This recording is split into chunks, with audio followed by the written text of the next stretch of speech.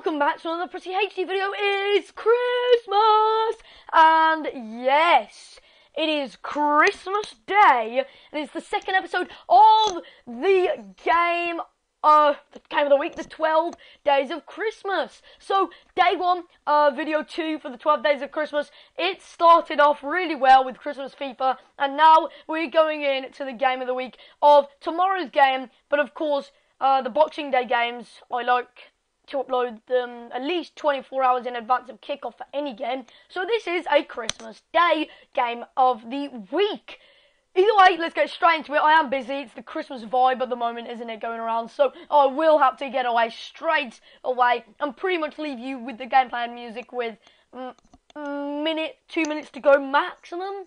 So either way, let's get into the stats. It's going to be a very simple and to the point game of the week. West Ham have not won on any of their last eight league visits to Stamford Bridge. They've drew two and lost six. The Hammers' win last win at Chelsea was in September 2002 when, guess who, Paolo Di Canio scored twice to propel Ch- uh, West Ham to a 3-2 win. Their only previous Boxing Day meeting came in 73 when Ron Greenwood's Hammers won 4-2 at Stamford Bridge despite being 2-0 down at half-time. Guess who the scorers? Frank Lampard Sr. Uh, of course, his son, Frank Lampard Jr., played for both West Ham and Chelsea. Chelsea have won all eight of their Premier League home matches this season. The Blues are unbeaten in their last nine Boxing Day games. They've won five and drew four. Diego Costa has scored eight goals in his seven Premier League appearances at Stamford Bridge this season. That is fabulous. He's such an absolutely fantastic striker. He's in, he's sensational. This is the eighth time that a club managed by Jose Mourinho has been top of the league at Christmas. On the previous seven occasions with Porto, Chelsea, Inter Milan, and Real Madrid, he has gone on to win the title. So basically, if the stats are anything to go by, Chelsea have won it this year. They've got a long way to go, only on a mere three-point lead on City, but they are in hot precision. They are in prime preci- uh, position to definitely win the league. West Ham have won four of their last five Premier League matches. They've been excellent this year, West Ham United. They have been out of this world. Um, and to find themselves in fourth at Christmas, it is it's it's been a fabulous season.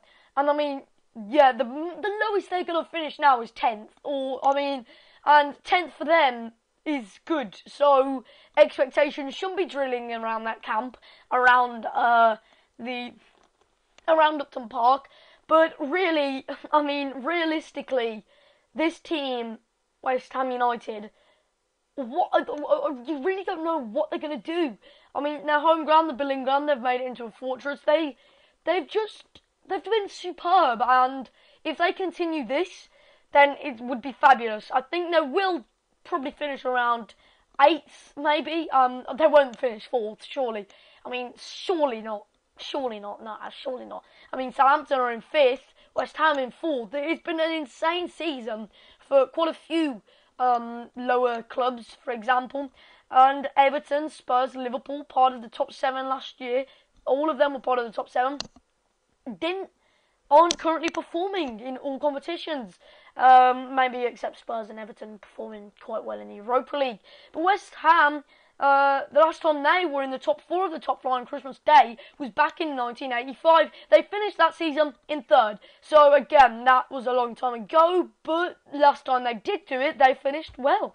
West Ham have already won nine matches this season. They only won 11 in total in the whole of the 2013-14 campaign. 11 matches they won last year. This year, it's been an absolutely smashing and cracking nine already, and we are only at Christmas. The Hammers have scored in their last eight Premier League away games. The last time they scored in nine away games in a row was back in December 1999 to May 2000. That, take, that took nine matches. So that is all the stats. It does kick off at Stamford Bridge at 12.45. Of course, on the 26th of December 2014, one of the it is one of well, joint final game of the uh, the Premier League ever in 2014. It's been an incredibly quick year, and I just can't come to terms and can't quite believe or take in that um and let allow it to sink in that it's Christmas Day 2014 already. It's just It's absolutely mental. But the table as it stands before all the games, of course, Liverpool 10th, Everton 11th, Spurs 7th, Chelsea on top, Man City second, Man United having a decent season so far in third, but still really Man City and Chelsea are running away in the race. West Ham in fourth and Southampton sit two points behind in fifth. Arsenal are level on points with Spurs in sixth. Swansea eighth. They accumulated nine points in three games but have dropped off ever since. Um, and apart from that, QPR in danger of relegation along with Palace. Burnley, Hull, and Leicester sit in the relegation zone. Leicester have only earned 10 points from 17 games. Dreadful, dreadful currently from Leicester. But have you heard about this? Can you actually believe this? Um, if I'm honest, I'll show you what's going on now, right? Heskey has signed for Bolton. Emile Heskey has signed for Bolton. Yes, I know, that is absolutely insane. Emile Heskey signs for Bolton. Oh, and there's that player that went missing as well. The one with the, the long hair, the one, the Blackpool player. I forgot his name. How can I forget his name? He's been dismissed from his previous three clubs for lack of discipline, and now I can't find his name. How did I forget that? But anyway, yeah, um, he's been missing. He's disappeared, which is weird.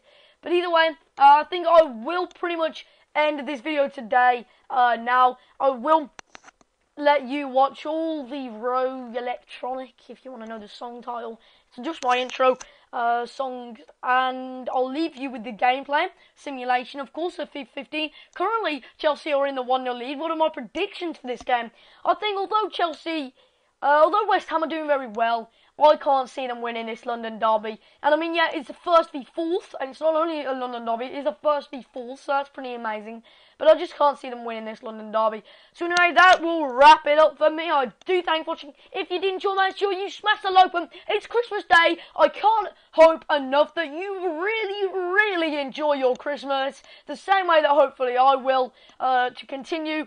And well, all that's left now after today is New Year. So it's all be gone in a flash, so make sure you make the most of it. Um, I do hope you appreciate that I am done a double upload on Christmas Day and will do up until the 5th of January. Of course, I haven't not uploaded since the 19th of January. That was my last day where I missed a day. So, um, it's been a pretty insane run up to Christmas, and I really, really hope that you appreciate and enjoy the rewards that I'm giving you for being such an amazing fan base and such an amazing subscribing fan base. And that's what Christmas is all about, uh, saying thanks.